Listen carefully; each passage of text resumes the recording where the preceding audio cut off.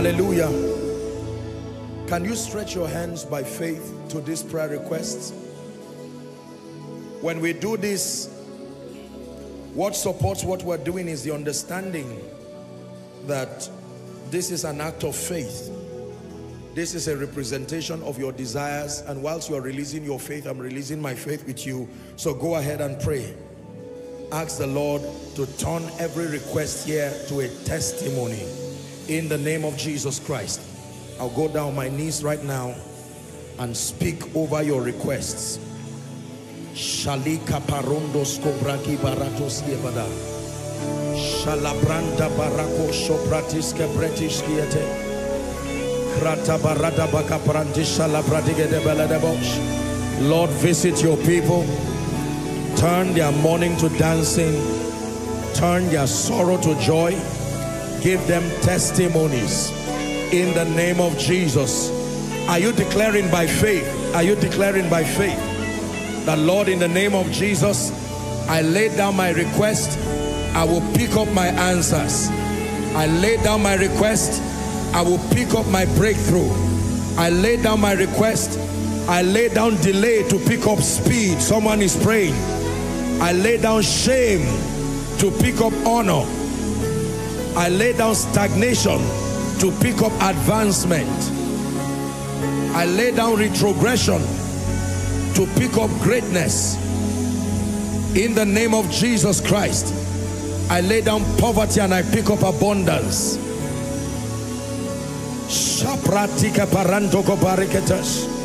Let your fire rest upon this. Let it be turned to a harvest of answers. I lay down barrenness and I pick up supernatural children. I lay down joblessness and I pick up a flourishing job. I lay down spiritual lukewarmness and I pick up fire for my spirit man. I lay down ignorance and I pick up abundance of knowledge and understanding. I lay down sickness and ill health. I pick up health, strength, vitality. In Jesus' name we pray. In Jesus' name we pray. Father, I present to you the request of your people, an expression of their faith and their trust in you. They have brought this prayer request in faith, believing that you are the God that does wonders even in the midst of your people. I pray, oh God, in the name of Jesus, that every request here penned down by faith, let it return to your people as a harvest of answers. Shout amen like you believe. Let it return to you as a harvest of answers. In the name of Jesus. May God intervene supernaturally. May God intervene using the ministry of man. May God intervene by connecting you to helpers of destiny. I pray for you that in the name of Jesus Christ, the same way you took time to write the request, that is the same time you would, you, the, the same way you would take the time to acknowledge the doings of God one by one. Where you drop shame, pick up honor. Where you drop retrogression, pick up advancement. Where you drop sickness, pick up health and vitality. Where you drop suffering and stagnation, pick up ease and abundance. In the name of Jesus Christ. Where you drop barrenness, pick up a harvest of children. Where you drop lukewarmness, pick up fire and vibrancy in the spirit. I decree and declare by faith that these Egyptians you see today, in the name of Jesus, the Son of the living God, may you see them no more forever. In the matchless name of Jesus Christ. Amen and amen. Hallelujah. Please stand. I want to speak over your finances. Hallelujah. My greatest joy as a man of God is to see everyone excel in every area of your life. First, your spiritual life. Loving Jesus, being on fire, a vibrant prayer life, a vibrant word study life. Are we together? Becoming men and women of character after the image of the Christ. My prayer and my desire again is to see a people transformed, fortified by knowledge and understanding. Are we together now?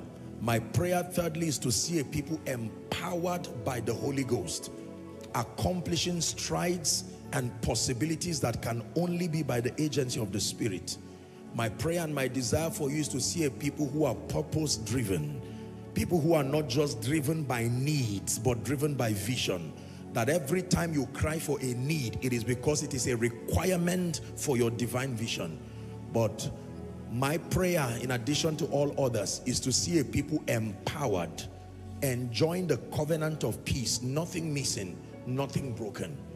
I hope that I'll be able to talk about finances one more time before the year is done because um, truly from an economic standpoint many people are being challenged and any responsible person who loves God and loves his people should at least leave a note of understanding. I reckon with the fact that many people are bankrupt of financial resources either because of laziness or because they do not understand the laws that make for wealth and abundance. Others do not understand the law of value. They are not productive. They are not and where they are productive they do not know how to sell their value intelligently.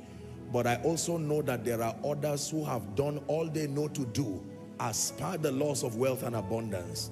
And their finances have just been hijacked by all kinds of demonical forces or the biases and sentiments of men that plague our world that stops our lives from being ideal that sometimes you can do what is required but an individual can stand as a blockade to your efficiency so that the result that should be from your diligence is sabotaged by the wickedness and the antagonism of someone else. At such times, you need beyond skill. You need the power of God. You need the wisdom of God. Let me tell you the truth. Prophecy plays a role in genuine, lasting wealth and abundance. Make no mistakes about it. When people act like they didn't route their wealth through the spirit, it's not true. There is an equation of their success that you are not aware of. You are only aware of the transactional dimension of their sustainable wealth. I can tell you by the mercies of God that there is a component to wealth and abundance that is hinged on the prophetic. The root of anything that has longevity is the realm of the spirit. Either a demonic dimension of the spirit realm or the realm of the spirit are sponsored by the Holy Ghost. So in addition to value, productivity, relationships, increase, investments, business, and all that you have known and learned, either formally or formally, let me introduce you tonight to a dimension, a superior, mysterious, but potent dimension that wealth can happen by prophecy. Are we together now? You can reroute favor from wherever it is and draw it into the space of a man to enhance his becoming. Prophecy does not take away the need for productivity. In fact, it is enhanced the more you are productive, the more you are you are you are excellent selling value i want to pray for you and i want you to be very serious as you receive especially if you know that things are not all right financially don't waste this moment hallelujah don't waste this moment make up your mind that you are going to receive and even where God has helped you financially you can still go further and higher so that it gives you room to serve God more. I look forward to people here who will come to Koinonia and say, give me the yearly budget, financial budget of Koinonia. And as a single person, you will write it. I know that you have the heart already. When God places the resources in your hands, I know you will do it. For now, God is taking us gradually. We're not ashamed of growth.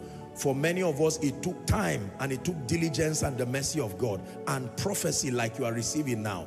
No matter how anointed you are, it will take time. But I'm praying for you, particularly for those of you who are in serious financial issues now.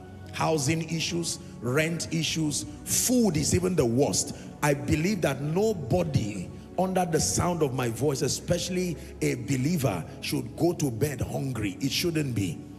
It should be an economic policy and I know that the government is doing the best that they can and know to do, but we owe a responsibility, are we together, to be able to use the prophetic and help enhance the quality of living of a people. I will feel very guilty as a man of God that I camp you here for hours, minister to you, and that you have people who go back home void of favor, and that you and your children will sleep hungry while I'm enjoying a nice meal in my house. It is not the character of a true shepherd. If I'm eating in my house knowing that there is bread in your house, we both are happy and God is glorified. In the name of Jesus, the cause of emptiness in your life, financial emptiness in your life, I pray for you by the God of grace and God of mercy this night by a prophetic word I declare enjoy supplies from today.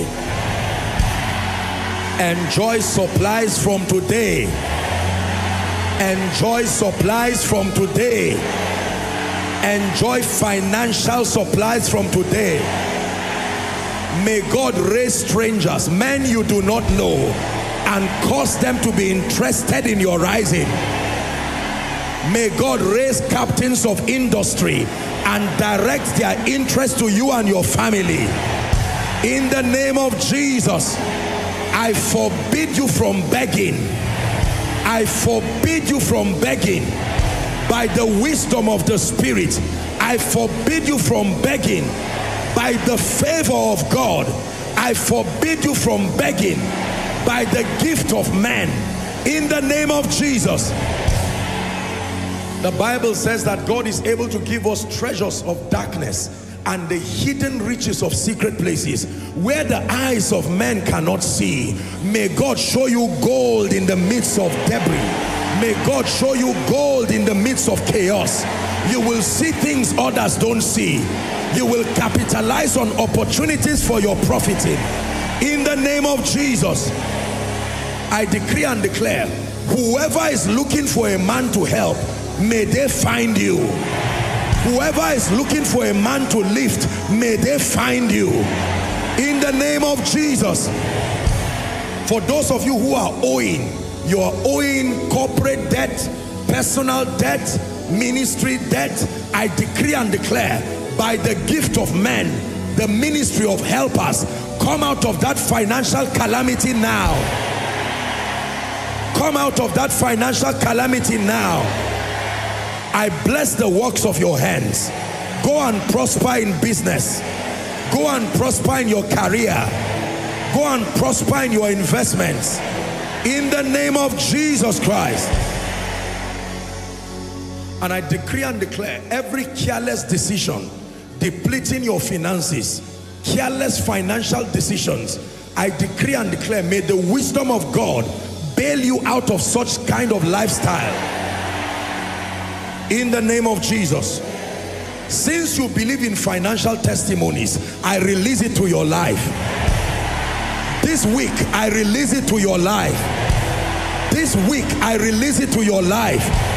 In addition to your spiritual growth, in addition to your prayer life, in addition to your word study, in addition to your loving Jesus, in addition to your serving Jesus, I declare go and prosper. Go and prosper with dignity and with honor in the name of Jesus. For some of you, you have been helped by God, but the dimension you will experience this week, let it be such that you have never seen before. Let it be such that you have never seen before. In the name of Jesus Christ. And I decree and declare, let something rest on your head from tonight. Hear me. Hear me. Favor is likened to light that shines upon the face of a man. A glow that attracts help. I'm praying for you. Whatever has covered you, so that those who help you cannot identify that you are the one they were sent to. I declare that veil is torn from off your face. That veil is torn from off your destiny, torn from off your face. In the name of Jesus. Finally, I pray for you in the name that is above all names. Hear me.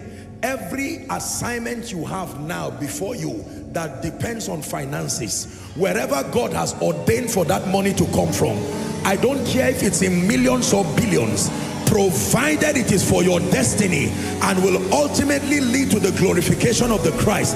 I stand by prophecy. I gravitate those resources to your life.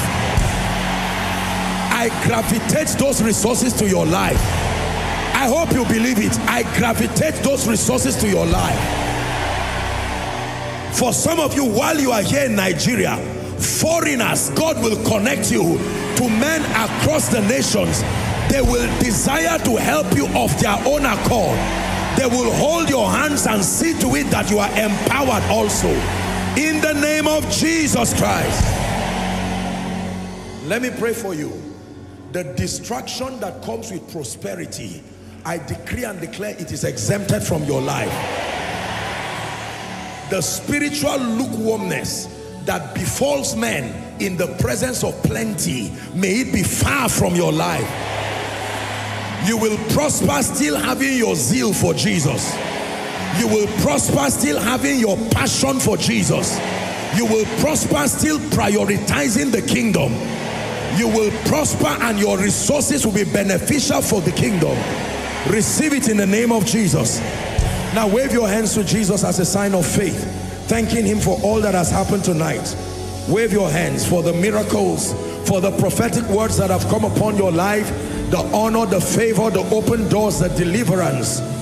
Wave your hands in anticipation for the many testimonies that will follow you all through this week.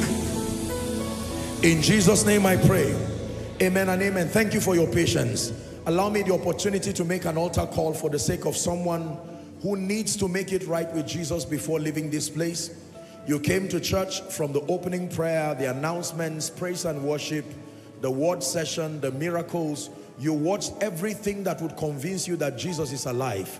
I do not want you to just see and watch and be excited and clap and cry and be emotional and go back home.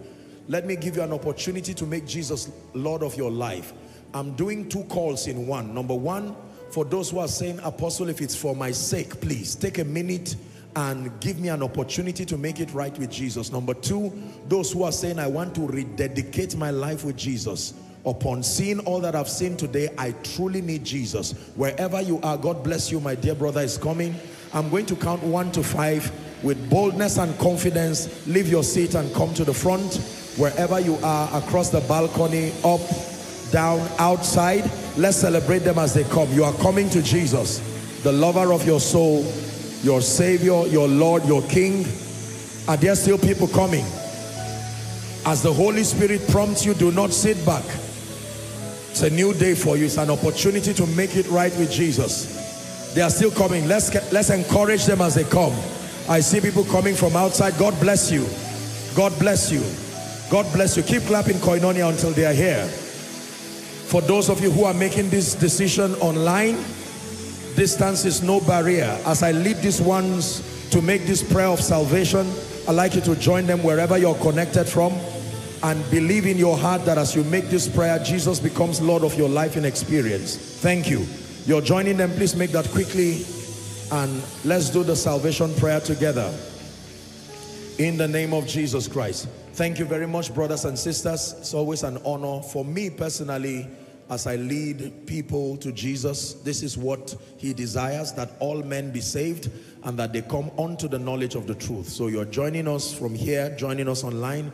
I want to salute you for the courage to declare his lordship over your life. Let me request that you lift your right hand and say this loud and clear. Say, Lord Jesus, tonight I've heard your word.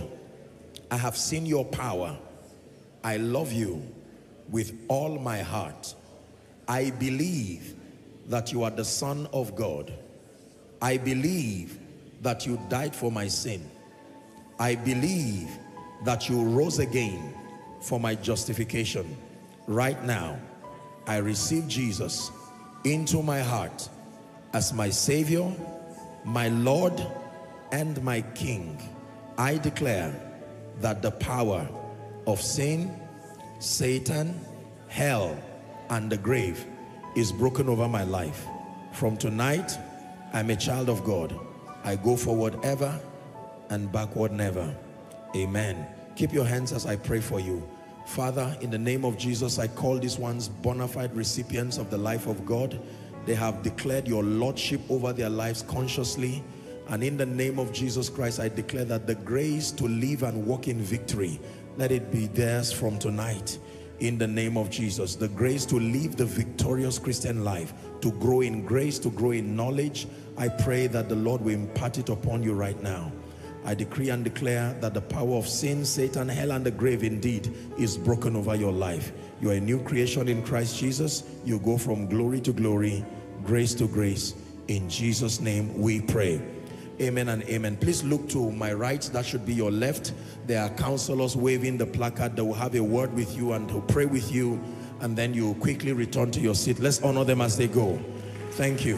Thank you so much. Thank you. God bless you. Are you, are you still clapping for them, Koinonia? Let's honor them. Hallelujah. Praise the name of the Lord. Hallelujah.